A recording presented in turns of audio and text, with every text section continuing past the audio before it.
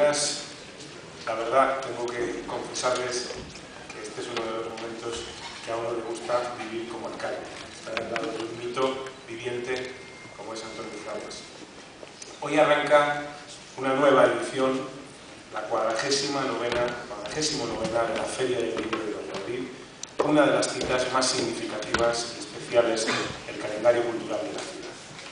Un evento que a las puertas de su 50 aniversario regresa a la Plaza Mayor, emplazamiento que abandonó en 1999 con el firme compromiso de convertirse en un espacio participativo en torno a la lectura en el que colabora de nuevo el gremio de libreros y el de editores. Pero no se trata solo de eso. La Feria del Libro apuesta por servir también espacio para el debate, el pensamiento y la reflexión en torno a la realidad cultural y social. Por ello, durante su celebración se abordarán temas como la situación de los refugiados, la educación, la igualdad de género y la comunicación entre ellos. En esta edición son 55 los expositores invitados a la feria, entre los que se hallan librerías, sellos editoriales e instituciones. Asimismo, más de un centenar de invitados recalarán en esta feria del libro, que tiene por lema Imaginar el mundo, una invitación a dejarnos seducir por la innegable magia de la palabra y su trascendental poder de transformación. Prestigiosos autores nacionales e internacionales compartirán protagonismo con grandes promesas y con firmas consagradas del sector literario local y regional. Petros Marcaris, Almudena Grandes, Fernando Aramburu, José Manuel Caballero Bonal, Amelia Valcárcel, José Antonio Marina, Juan José Millás, Periris, Lola Herrera, Lorenzo Silva, son, entre otros, eh, algunas de las figuras que no faltarán a esta cita con las letras. Todos ellos participarán en una extensa programación a la que dan forma encuentros con autores, presentaciones de libros mesas redondas en la que el público infantil y juvenil contará con una programación expresamente diseñada para ellos.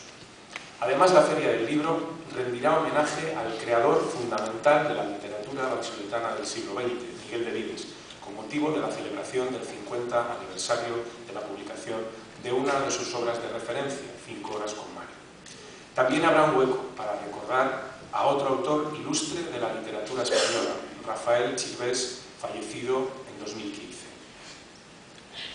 Recibirá también el aplauso del público vallisoletano el escritor Juan Manuel de Prada, a quien se hará entrega del premio de la crítica de Castilla el homenaje final de la cita será para la Federación de Colectivos de Educación de Personas Adultas en Valladolid, en reconocimiento a sus más de 25 años de trayectoria en la formación de adultos. Con dicha organización y muchos otros colectivos de la ciudad ha colaborado estrechamente el artista Manolo Sierra, otro de los nombres propios de esta feria. Él es el autor del nuevo logotipo y del cartel de esta edición que refleja el regreso, a la Plaza Mayor y convoca a los ciudadanos a participar en la cita. El primer gran acto de la feria es el pregón que a continuación pronunciará nuestro invitado, Antonio Fraguas Borges, y que lleva por título Valladolid. Es un honor para esta ciudad contar como pregonero de la cita literaria con una figura de su talla, todo un referente del humor gráfico. La obra de Forges atesora numerosos valores que desde la ironía, el humor incisivo o la ternura han radiografiado la España contemporánea del último medio siglo. Desde que en la década de los 60 publicara su primer dibujo en Pueblo, una de las principales cabeceras de la época, Forges ha desarrollado una prolífica y exitosa carrera. También escritor, director de cine y televisión y colaborador radiofónico, fue a comienzos de los años 70 cuando decidió dedicarse por entero a su gran pasión, el humor gráfico.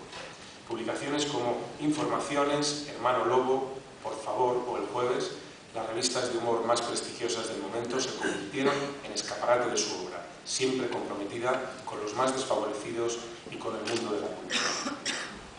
Tras pasar por Diario 16 y El Mundo, en 1995 comenzó a publicar en El País, periódico al que continúa ligado en la actualidad, retratando la sociedad que le toca vivir y lo hace a través de personajes que se han convertido ya en parte del imaginario colectivo como Mariano, Concha y los, los Blasillos, entre otros.